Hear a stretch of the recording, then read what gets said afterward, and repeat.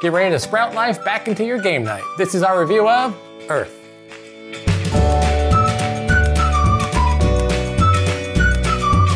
Earth is a hand management game about growing ecosystems, and I think the picturesque landscapes really gave me a newfound appreciation of Earth. This high score game is easy to learn and plays quickly, however, it left me feeling kind of underwhelmed. We'll tell you all about it after this quick how to play.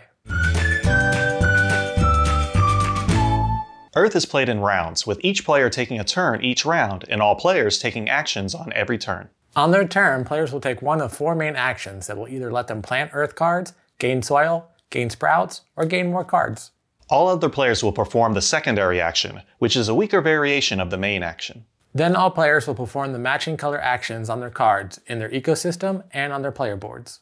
Players perform actions left to right and top to bottom, which can lead to some really impressive chaining of actions. Once any player completes their 4x4 tableau ecosystem, all remaining players will take a turn and then the game will end. Players will add up their scores from the numerous ways of gaining points, and the player with the most points wins. Before you go off planning your ecosystems, go ahead and hit that like and subscribe button. All your likes and subscribes really help our channel grow, so thank you. Earth was a very successful Kickstarter that we backed, and I'm glad that we did because I really enjoyed playing the game. However, I feel like it's getting a lot of hype right now because it just came out and everyone's adoring it, which I think it has some great mechanics and some great features. I just don't think it's like the best game ever, so that's why it left me a little underwhelmed. I just don't think it's as great as people are making it out to be. The whole theming of it, it just reminds me of Ark Nova or Life of the Amazonia. Yeah, reminds me of those two games specifically, but maybe a little bit of Parks too. I think that's what really caught my eye. The pictures are great. Production value wise, there are some unique pieces with the soil and building the trees. I think all of that adds to it that, you know, it's just a fun game in general to me. The game does have some interesting pieces, and the theming and pictures will remind you of Ark Nova, however the mechanics are totally different, and other than having a lot of cards, there's really nothing that I would say you can compare the two, but it's nothing like Ark Nova. I think Ark Nova is that much better of a game than this one, however I still enjoy this one. I would say the closer comparison with this game would be to Wingspan, because you're building your tableau and you chain your events. Unlike Wingspan, where you are the only one who does your chain of events and only in one row, depending on which which action you perform. With this one, every player will perform all of their matching color actions each time that action is chosen. So if I choose the green action, all of my green actions on all of my cards in my tableau, I will perform those actions. Same thing with the orange, the blue, and the yellow. And if you build it correctly, you can really get a lot of points from all the pieces that you put in your ecosystem. Also, if you build it correctly, you're kind of taking turns every turn. So it's just like, okay, what'd you do? All right, uh, and then you get, and then someone else goes, and you're like, okay. Uh, so yeah, it's good, but it's also a lot to keep track of. It's, you know, I know when I first played it, they were waiting on me again.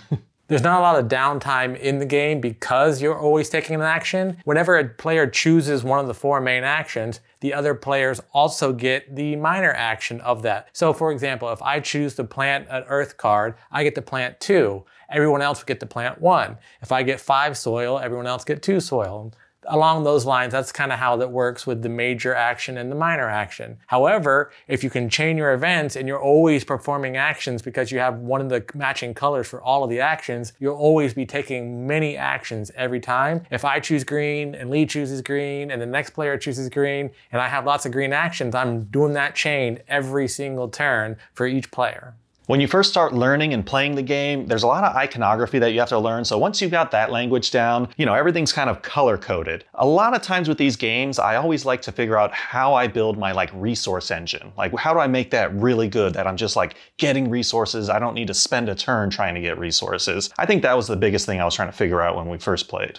This is a very high scoring game because for the most part, everything is worth points. Cards in your compost are worth points, your growth are worth points, your sprouts are worth points. Pretty much the only thing not worth points are the little compost pieces, which I call the little poop pieces. So if you're not scoring above 200, 215, 250, even in that range, then you're probably not keeping up with where the final scoring is gonna be. I really enjoy games like that. I love where you could just score everything that you do, you can score a point, you could do this, and you're really racking up the points. However, I know that some people may not like that because they want their points to feel like they matter more, so every point feels like that much more important. However, I like it when everything that I do feels like I'm building towards something. And if that's counting points that you're earning by building every time you're doing, I rather do that rather than build, build, build, build, build, and then at the end I got five points by doing all of that, but five points is still good. I rather build, build, build, build, build, and then get 200 points and be like, yeah, every step along the way I earn those 200 points. I'm more of a visual, like I want to see the progress. So like you build your little sprout or your little trees and then you get sprouts and place them on there. So you know,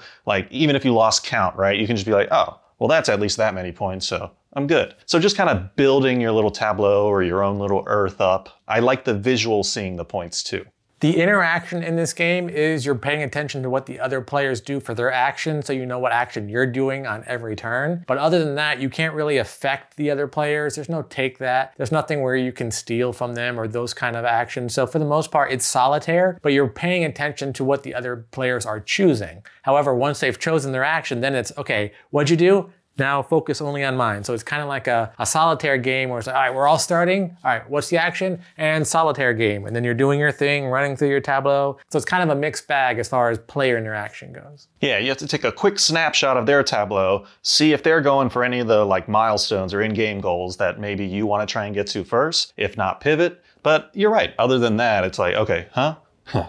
The first time you play this game, it can take a long time because you're always like, oh wait, I do something every turn. What do I do? Which is better? However, I feel the second, third, fourth game, the more that you play it, once you know the language of the iconography, once you kind of have a strategy, you can blow through this game pretty quick. And I'd say even a four player game may even go under an hour if everyone's really focused on what they're doing. When you first start, you get your player board and your pieces, but then you also get your island, climate, and ecosystem cards. These cards are double sided, and so you get to choose like, okay, I'll do this side for this one, this side for this one, and this one. And it kind of sets you up on what your strategy is or how you're going to be playing the game. So even though I really enjoyed this game, it does have some negative features. It does get a little repetitive because you're building a 4x4 tableau and it's always, okay, you're doing this, doing this, and so it just feels like you're doing the same thing over and over again. And that's heightened by the fact that you only have four main actions that you're choosing. I'm doing this action, I'm planting two cards. I'm doing this action, I'm getting five compost. I'm doing this action, I'm getting six sprouts. And then the next player does it, and then you're also taking the action. So there's never a time for you to sit and go,